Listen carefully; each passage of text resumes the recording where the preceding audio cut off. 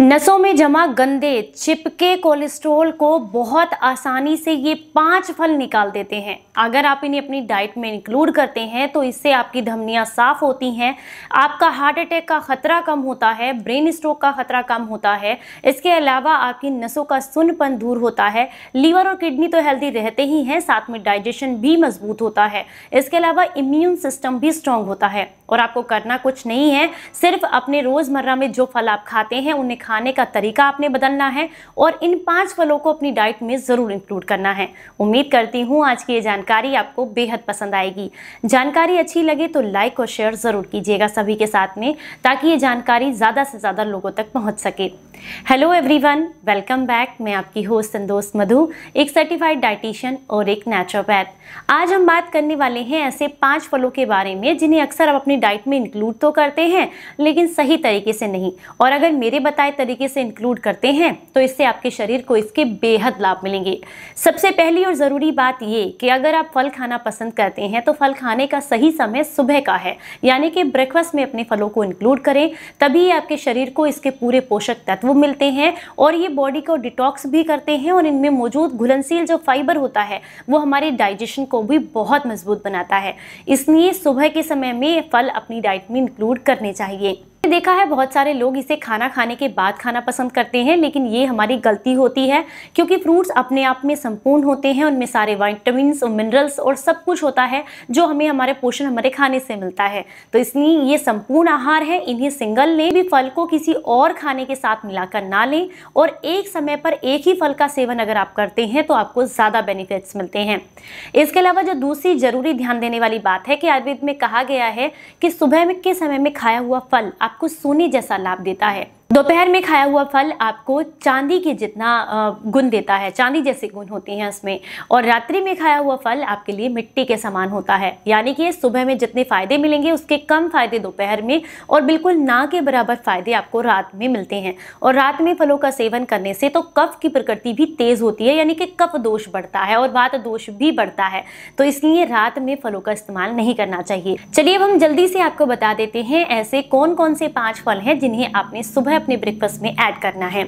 Number one पर आता है केला। ये तो आपने सभी के मुँह से सुना होगा कि केला बहुत अच्छा फल है। डाइजेशन के लिए बहुत अच्छा है। लेकिन ऐसा बहुत कम लोग जानते हैं कि ये बॉडी के अंदर से बैड कोलेस्ट्रोल को भी कम करता है। इसमें मौजूद जो पोटेशियम होता है, ये धमनियों को साफ़ करने का काम करता है और इसके अलावा घुलनशील जो फाइबर है, ये आंतों को डिटॉक्स करने का काम करता है। इसलिए नसों में जमा जितना चिपका हुआ बुरा कोलेस्ट्रोल है, अगर सुबह खाली पेट आप छिलके के साथ एक केले को खाते हैं तो ये आपके शरीर में जमा जितनी गंदगी है, उसको बहुत तेज़ी से डिटॉक्स करता है। दूसरा, शरीर में एनर्जी बना करके रखता है। पूरा दिन आप एनर्जेटिक फील करते हैं, आपको आलस्य नहीं आता है। तीसरा, सुबह के समय में अगर आप योगा एक्सरसाइज वगैरह करते हैं, उसके बाद कोई हैवी मील लेने की बजाय अगर आप केले को उनकी अपनी डाइट में इंक्लूड करते हैं तो ये आपके शरीर को एनर्जी भी देता है। साथ में इसमें मौजूद पोषक तत्व जो होते हैं, वो आपकी मसल्स को गेन करने में भी आपको मदद करते हैं। लेकिन इसे दूध के साथ इंक्लूड करके नहीं लेना चाहिए, क्योंकि दूध के साथ आयुर्वेद में से विरुद्ध आहार कहा गया है। दूसरे नंबर पर आता है अनानास। इसमें भरपूर मात्रा में ऐसे मिनरल्स और खनिज पाए जाते हैं और बहुत सारे विटामिन होते हैं जो कि हमारे शरीर को बहुत लाभ देते हैं। ये हमारी नसों में चिपका हुआ जितना भी बैड कोलेस्ट्रोल है, उसको डिटॉक्स करने के लिए बहुत अच्छा फल है। अगर आप इसे अपने ब्रेकफास्ट में ऐड करते हैं तो इसमें पाया जाने वाला ब्रोमेलिन नाम का एक तत्व, जो कि आपकी नसों की जितनी भी गंदगी है, उसको साफ़ करने में मदद करता है। आपके हाई कोलेस्ट्रोल को कम करता है, जिससे आपको काफ़ी लाभ मिलते हैं। अनानास जो है एंटीऑक्सीडेंट से भरपूर होता है एंटी इन्फ्लामेटरी तत्व भी इसमें पाए जाते हैं, इसलिए ब्लड क्लोटिंग को भी रोकता है। आपके शरीर में खून के दौरान को सही करता है, आपके हाई ब्लड प्रेशर को भी कम करने में मदद करता है, यह हार्ट को हेल्दी बनाता है और नसों की सफ़ाई करता है। तो इसे भी अब अपने ब्रेकफास्ट में ज़रूर इंक्लूड कीजिएगा। हफ़्ते में दो तीन बार भी ले लेते हैं तो लाभ मिलते हैं। नंबर तीन पर आता है हमारा लेमन यानी कि नींबू।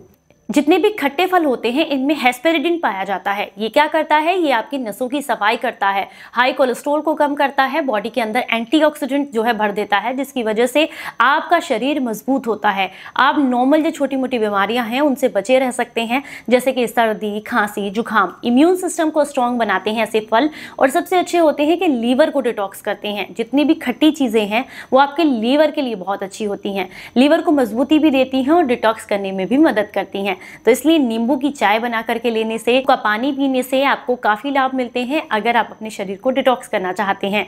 चौथे नंबर पर आता है पपीता। अगर आप अपनी आंतों को साफ़ करना चाहते हैं, लीवर और किडनी को डिटॉक्स करना चाहते हैं, इसके अलावा नसों की सफ़ाई चाहते हैं तो आपको अपनी डाइट में ज़रूर पपीते को इंक्लूड करना चाहिए। पका पपीता 250 ग्राम की मात्रा में सुबह ब्रेकफास्ट में ऐड करने से आपके शरीर को बहुत लाभ मिलते हैं। पपीते में मौजूद फाइबर वाइटामिन सी और भी और भी बहुत सारे ऐसे एंटी पाए जाते हैं, जो कि ब्लड क्लॉट होने से रोकते हैं, शरीर को साफ़ करने में मदद करते हैं। इसके अलावा कोलेस्ट्रोल के लेवल को कम करते हैं तो इसे आप अपनी डाइट में ज़रूर इंक्लूड करें। नंबर फाइव पर आता है कृष्णा फल जिसे पैशन फ्रूट के नाम से भी जाना जाता है। आप इसे अपनी डाइट में इंक्लूड करते हैं तो इसमें पाए जाने वाले एंटीऑक्सीडेंट, एंटी इन्फ्लामेटरी तत्व विटामिन सी और भी ढेर सारा फाइबर इसमें पाया जाता है जो कि आपके शरीर को मजबूती देता है। साथ में आपकी बॉडी में जमा जितने भी टॉक्सिन्स हैं उन्हें निकालने में मदद करता है। ये नसों की सफ़ाई करता है। इसके अलावा जो हार्ट की प्रॉब्लम्स हैं हार्ट में ब्लॉकेज है उसको बनने से रोकता है। ये आपके ब्रेन स्ट्रोक के खतरे को भी कम करता है। और इसमें पाया जाने वाला वाइटामिन ए जो है वो आपकी आँखों की रोशनी बढ़ाने में भी मदद करता है। तो उम्मीद करती हूँ, इनमें से कोई भी एक फल आप अपनी डाइट में इंक्लूड करके अपने जीवन को निरोगी बनाने में ज़रूर योगदान देंगे। उम्मीद करती हूँ, मैं जो ये मुहिम लेकर के चल रही हूँ कि आपके घर के आसपास जितनी चीज़ें हैं या आपके किचन में अवेलेबल जो चीज़ें हैं, उनके साथ आप एक निरोगी जीवन जिए। इसमें सहयोग देने के लिए आप इस वीडियो को लाइक और शेयर ज़रूर करेंगे। जानकारी अच्छी लगी हो तो सभी के साथ ज़रूर शेयर कीजिएगा। चलिए फिर मिलूँगी किसी नई जानकारी के साथ। तब तक अपना बेहद ख्याल रखें और हँसते मुस्कुराते रहें। Stay healthy, stay happy. Bye bye